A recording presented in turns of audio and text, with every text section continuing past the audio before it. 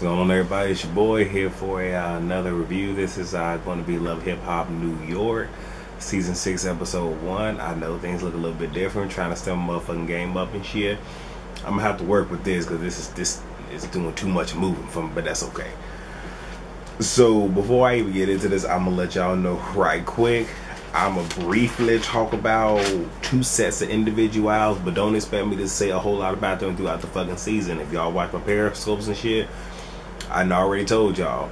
Fucking am uh, Tara, uh, Amina, and Peter. Y'all not finna hear a whole lot about them. Yandy and uh, Mendeecees, not finna hear a lot about them. Why? Because the shit done played out, and I ain't got no sympathy for these motherfuckers. So I'm gonna give my time to all the motherfuckers that matter. Okay. So we start off with Yandy, and you know she's giving the motherfucking uh, intro instead of Mona. I think both of them need not give the motherfucking intro because they both sound very tired and boring as shit. Uh, so we got Pam, uh, not Pam, uh, Remy. She pretty much talks about being away for six years, four months, five days. Got the shit down to a T. I was waiting for the tell me motherfucking seconds and shit. And you know, Pap, uh, Papoose, who is her husband, is making sure that you know she does not violate her fucking parole. You know, pretty much because she was chilling with uh, Rashidah Ali, and you know she was like, "Yeah, I'm gonna just chill out." Uh, Papoose like, uh, "No, we on the time schedule. Let go." And she ain't argue. She got the fuck up and she uh moved. But we'll talk more about that.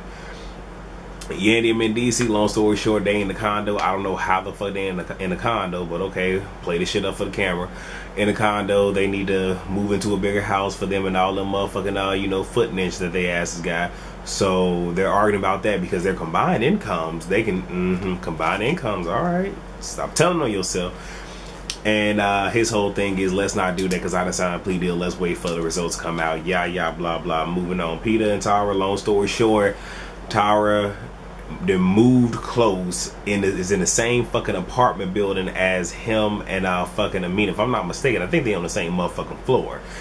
And apparently he helped her move in. They was, you know, drinking it up and then these motherfuckers ended in bed together. Anyway, uh, and Amina only agreed to this whole Peter will come home at night, and I, I would say that I I was rooting for her, but you know that shit dead because even though we all thought that she was gonna fight her independence last season and that she was actually gonna do something smart, I knew better. I fucking knew better. Uh, Bianca, she's a rapper. She uh, pretty much did the song uh, Chicken Noodle Soup. She's in the studio working with Yandy. Uh, she pretty much said the reason she fell off is because you know her brother passed away right before that song came out, and that was her support system. So not having a support system, uh, pretty much caused her to fall off. So you know she trying to get back on her, you know, grime and shit. Um, and Yandy pretty much tells her, "All right, what I want you to do is since DJ Self." Talk more about him in a minute. Since he's having like an artist showcase, you know, you need to go ahead and go there and pretty much prove to me, show me what you can do. So Rashidah, uh, she is doing management now. She's going to be managing these girls named Mo and Lexxi, and they have been now since 2010. I ain't heard of them, and they uh, their stage name is Bad Bitches on Deck. All right, so we don't really hear a whole lot about Rashidah, but we find out that Mo, the girl with the colored hair, uh, giving me uh, broke down. Uh, what's that girl off of uh, Love Hip Hop Atlanta? Damn it, I can't think of her name. But y'all, y'all know the, girl that's uh, married to Tony. She giving me her, but like a broke down version of her, like a gutter hood rap version of her. I'm just saying, real talk but she ended up getting into a fight with uh, Bianca, and pretty much Bianca uh, used the club that you put on the car, so motherfuckers, uh, you know, take your car shit, use that, bust upside a motherfucker head, gave her like it was either ten or fifteen stitches, I don't fucking remember. And Rashidah, whole thing is well, y'all like she wants them at the show at the showcase. Mm-hmm. Okay, Mona, I see you want them at the showcase with her. But the whole thing is, well, y'all need to behave. And my thing is this: if you know that you have a loose cannon on as a fucking client, regardless of what fucking opportunities you have. If you know that she's a loose fucking cannon, why would you bring her to an event knowing somebody else is fucking there? It's fucking stupid, fucking idiotic. Moving the fuck on. so Remy and Papoose, you know, though they're sitting down, they're arguing about their respective uh, experiences with her being away because she doesn't like feeling you know, like she's still in prison by being on like a rigid schedule. His whole thing is you might have been locked up, but you don't know what we went through. You know, it's one thing for you to be locked locked up, but you don't know how it feels for us, more or less for me, to, for you to be my wife and to see you going through. It's almost like I'm in, like I am in the jail cell with you, but like mentally I'm in captivity which I can understand both sides. her main thing, and he probably should have told her, just like, you a grown ass woman, you can do what the fuck you want to do, but I'm trying to keep your ass out of jail because if you sit here and don't be in by the fucking curfew that's, you know, put down, your ass going to fuck back to jail. So if you didn't enjoy it, you might want to get the fuck with the program. I know that sounds a little bit harsh, but hey, it is what it is. But what I will say is I tip my head off to him because, you know, he pretty much is uh being the man in the motherfucking uh relationship. It wasn't no honey. I think it sounded go. It was like let's go. It wasn't no if, no ands, no buts, and she was being, you know, the submissive wife. Got up and left, but they talked about it later rather than turn the fuck up. So you know, Remy got some maturity on her. I ain't mad at him. Uh, DJ Self, uh, apparently he's a big deal in New York on the uh, radio DJ scene. Move the fuck on. Uh, Mariah Lynn, she went from, you know, foster home to hitting the streets to rapping and she will be participating in the showcase too. I really don't think that she got any, you know, good skills, but it's a, yeah, we'll talk more about that in a minute. Papoose and Remy, they're pretty much, uh, I guess, celebrating the Remy being out for almost a year and whatnot.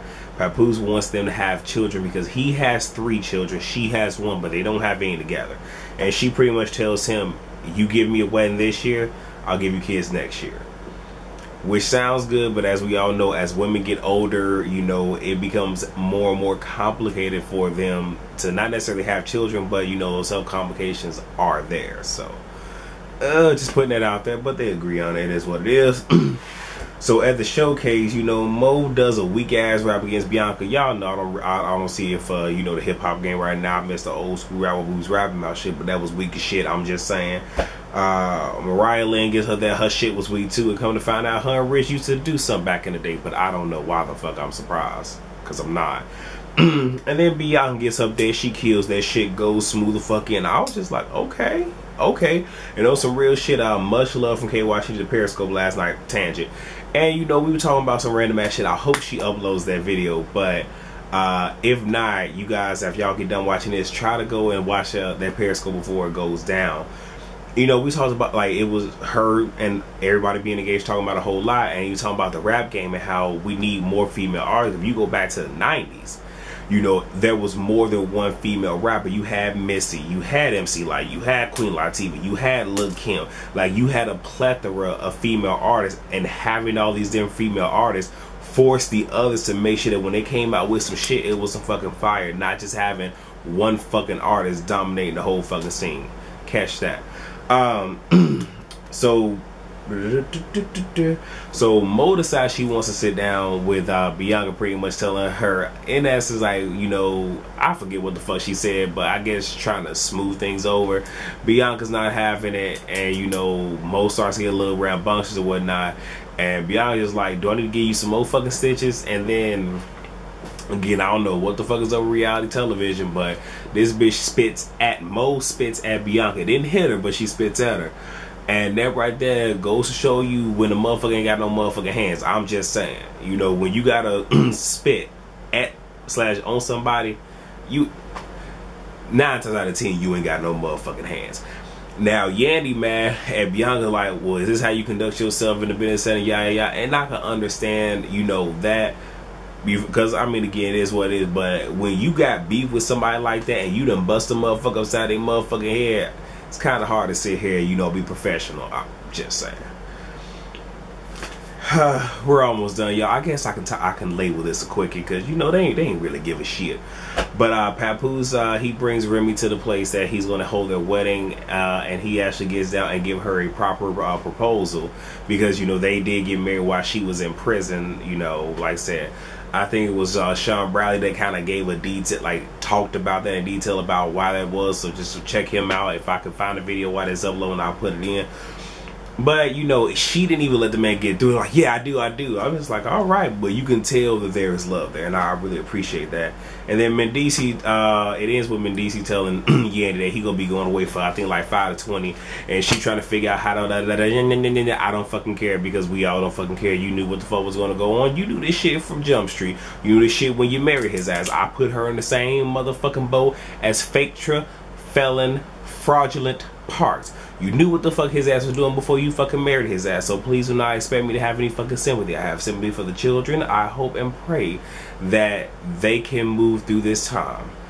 But uh, I ain't got no sympathy for y'all. So you guys, that's all I have. Rate, comment, subscribe, and share. Hopefully you enjoy the review. And I will see you guys on the next video. And right quick, I will be uh, letting you guys know tomorrow who won my giveaway. So I'll see you guys then. Bye.